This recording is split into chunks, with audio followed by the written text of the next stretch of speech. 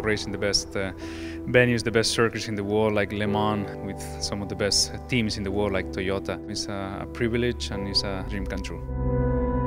I cannot wait to, to June, but uh, I know that before that big event, I need to, to do some tests. Because you know you need to prepare that race, you need to respect that race, and I try to do that.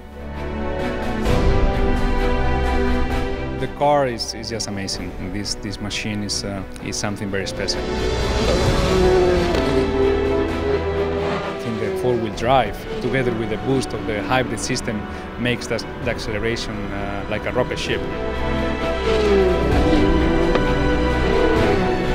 You go out to the corners and you feel the compression of the seat, you know, and your eyes are, are very wide open. You know, any racing driver should uh, feel that one time.